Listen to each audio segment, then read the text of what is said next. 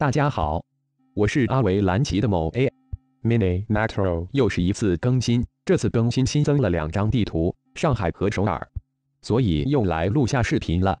这次录下上海的，毕竟 Mini Metro 这么多地图，唯一去过的就只有上海，悲催。那么就开始吧。不愧是大上海，一开始的车站都要多两个。上海这关的特点，换成枢纽最多可有三个。浦东出现稀有车站的个数，我印象是最多两个。如果没有全部在浦西的话最好。所以本关不会太依赖隧道。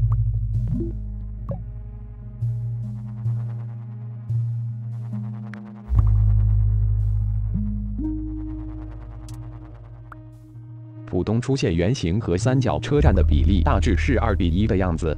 所以打算把红色的一号线覆盖整个浦东，加上浦西的方块车站，大致是人民广场的位置，然后沿着黄浦江向北延伸，大致按着两元一三角的方式布线就 OK 了。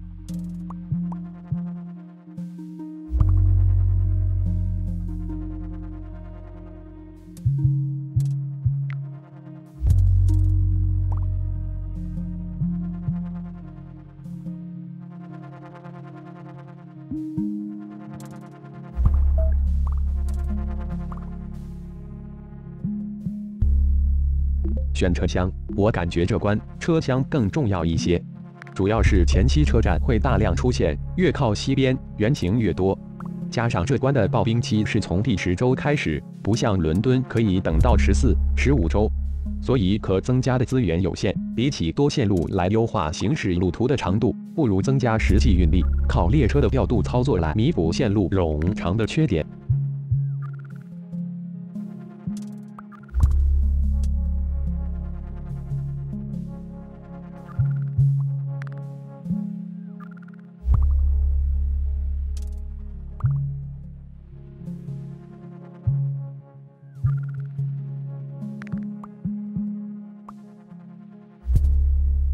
十字车站离方形车站的车站的距离很近，这是个好消息。稀有车站里面，十字车站的乘客是最多的。待会儿换乘枢纽，一定会设置到方形车站的。等十字车站的乘客囤积在方形车站比较多时，这种距离比较方便疏散他们。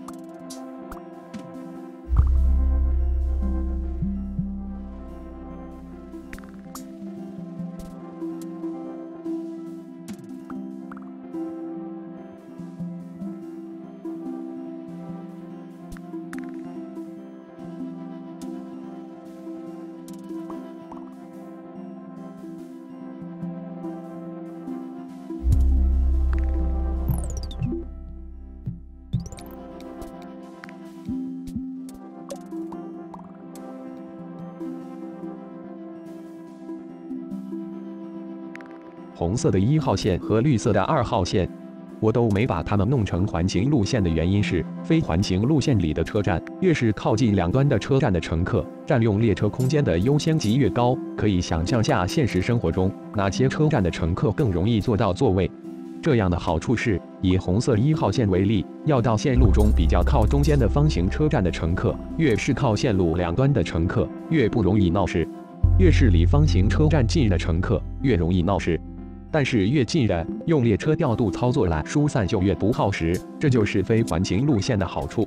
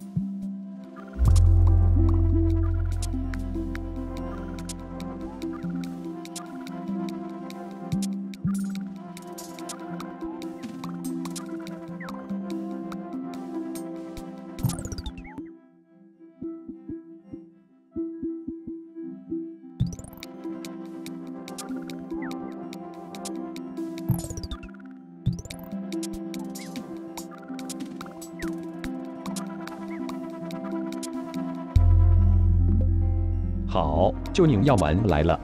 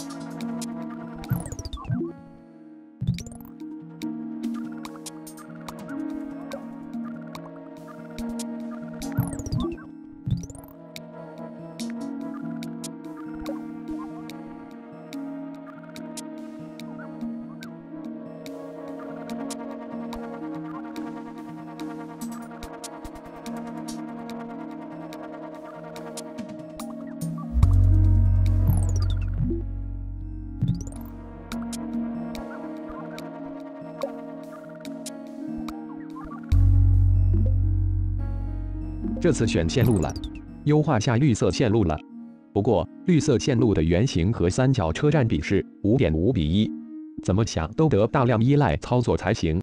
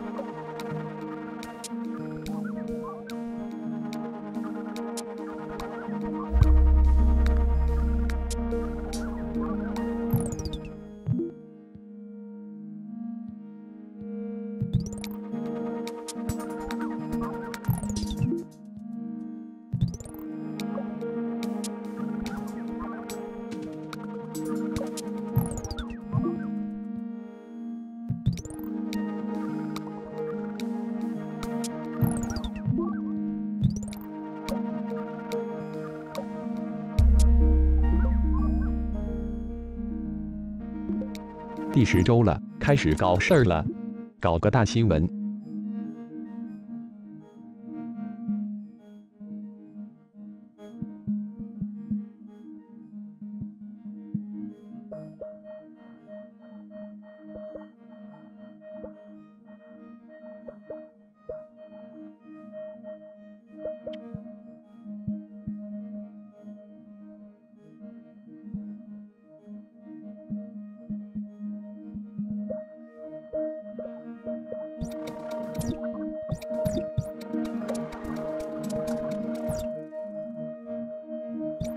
目前势头最厉害的是虹口一带，日租界以前好像是在这里，难道是淞沪会战开始了吗？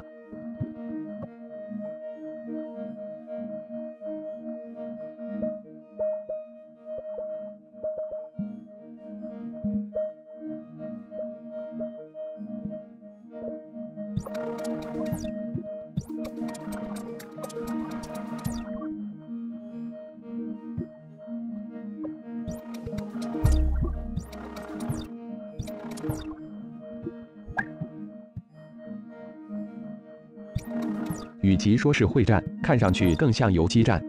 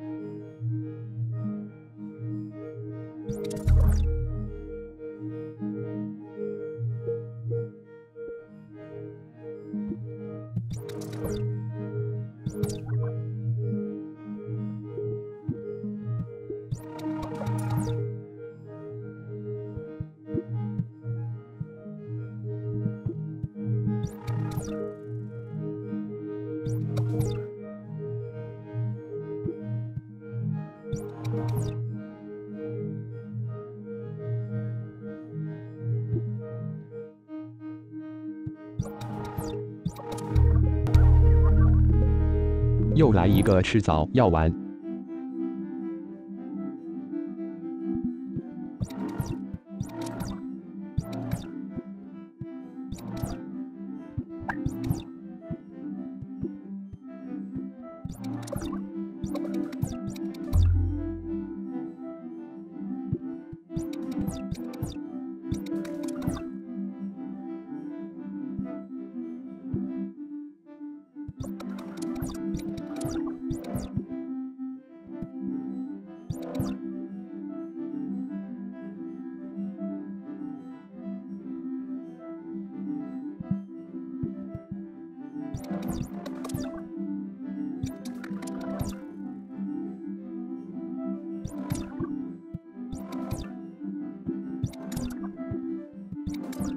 现在已经不像是在打游击了。从战局上看，敌人主要从西面开始攻击了，不过东面还有一些打游击的。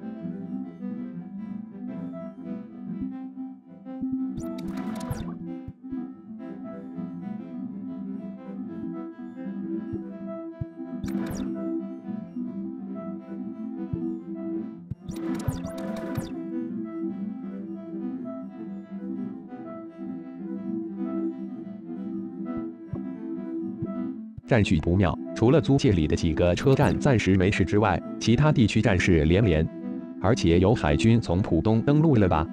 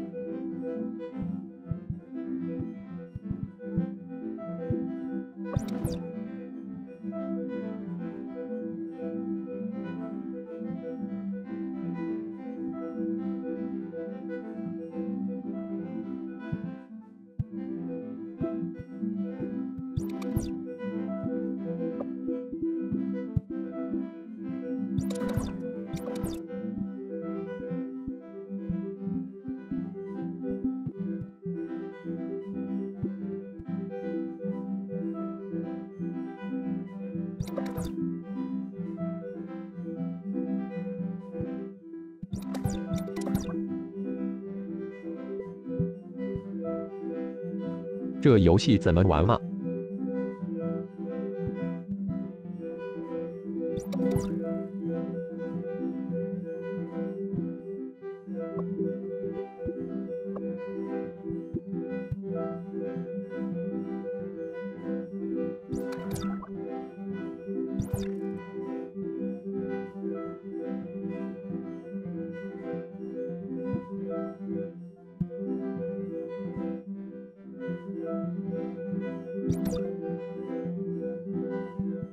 长官，我们快顶不住了。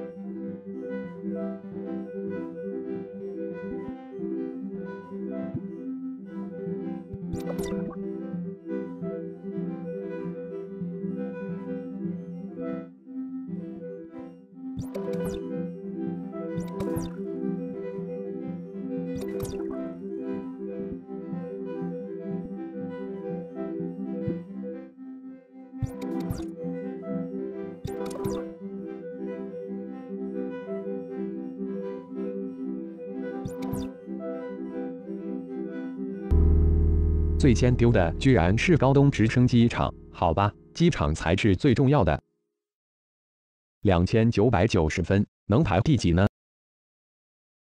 上海这关之后玩了十几次，感觉就是只能靠操作。最主要的原因是时间太短，造成没什么资源，就开始大量爆兵了。前期车站出现速度快，但前期不怎么出兵，给人一种感觉就是虽每条线路长，但每条线路有一辆一节车厢和一辆两节车厢的列车就够了的感觉。然后第十周突然一大波兵出现，就被秒杀，人生大起大落，真是太刺激了。